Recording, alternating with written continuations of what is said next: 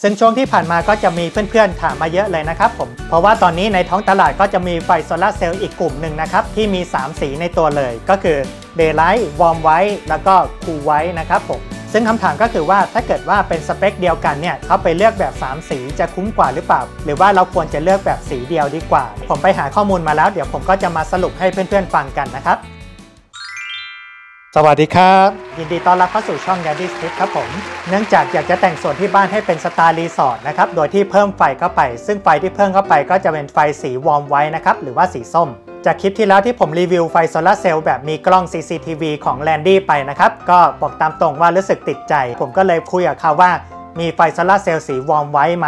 ที่อยู่บนโต๊ะนี้ก็จะเป็นไฟโซลาเซลล์นะครับของ Randy รุ่น Sport D นะครับผม อันนี้จะเป็นไฟโซลาเซลล์อย่างเดียวที่ไม่มีกล้องนะครับผมโคมไฟอันนี้เป็นรุ่น 100 วัตต์นะครับ ตัวเล็กกระทัดรัด ก็ไปติดตรงไหนก็สะดวกหรือว่าพกไปไหนมาไหนก็ง่ายนะครับผมแล้วก็โคมไฟอันนี้ก็จะเป็นรุ่น 300 วัตต์ก็ยังพกพาสะดวกอยู่ แล้วก็ไปติดตรงไหนก็จะให้แสงสว่างที่ก็ค่อนข้างสว่างเลยนะครับ แล้วก็โคมไฟอันนี้เป็นรุ่น 600 วัตต์นะครับผมตัวใหญ่มากเลย จะสว่างมากๆเลย แล้วก็ส่องไปได้ไกลมากๆเลยนะครับผมโคมไฟโซลาเซลล์เนี่ยมันก็จะประกอบด้วยชิป LED ที่เอามาเรียงกันอยู่บนแผงอย่างนี้นะครับผมแล้วปกติชิป SMD LED ที่ขายอยู่ตามท้องตลาดตอนนี้นะครับผม1ชิปเนี่ยเขาก็จะให้แสงแค่ 1 สีเท่านั้นนะครับเราลองมาดูชิป LED ที่อยู่บนโคมไฟอันนี้กัน ก็จะเห็นว่าเนี่ยมันเป็นสีเดียวกันทั้งแผงเลยนะครับผมเพราะฉะนั้นเนี่ยโคมไฟอันนี้ก็จะให้ได้แค่สีเดียว ถ้าเกิดว่าเพื่อนๆดูตามรูปนี้นะครับโคมไฟโซลาเซลล์ที่มี 3 สีเนี่ยเขาก็จะเรียงชิป LED ที่เป็นแสงขาวสลับกับชิป LED ที่เป็นแสงสีส้มไปทั่วทั้งแผงเลยนะครับผม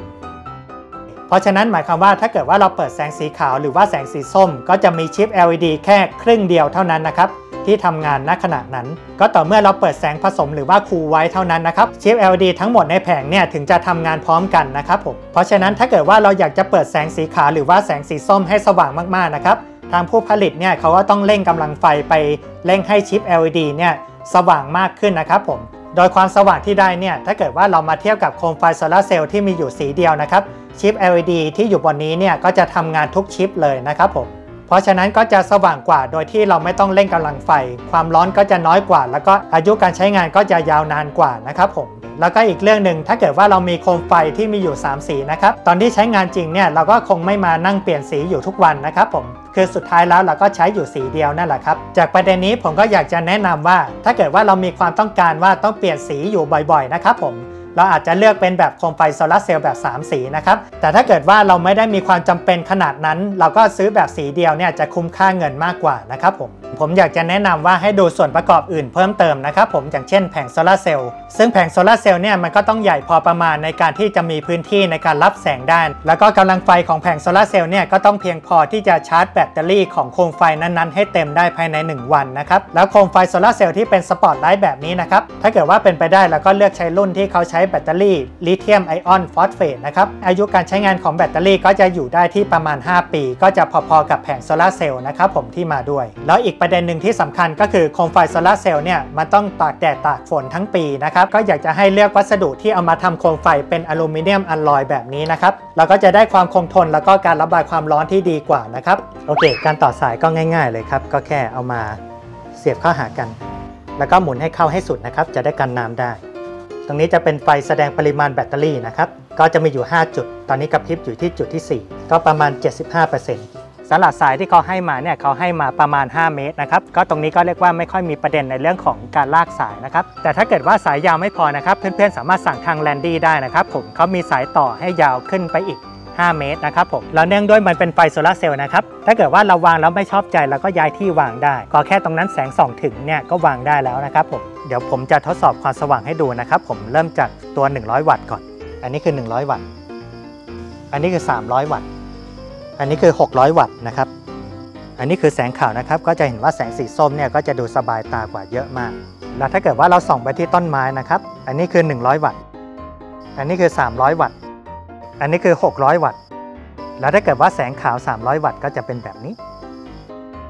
แล้วก็ปกติไฟวอร์มไว้นะครับ ผมถ้าเกิดว่าเอาไว้ตกแต่งเนี่ยเขาก็จะติดตั้งไว้อยู่ 2 แบบนะครับ แบบแรกก็คือว่าการส่องจากข้างบนลงมา อันนี้เราก็จะได้แสงสว่างบนพื้นด้วยเป็นแบบสีส้มนะครับผมสำหรับอีกแบบหนึ่งก็คือการส่องขึ้นไปนะครับผมตรงนี้ก็เพื่อเอาไว้โชว์พวกต้นไม้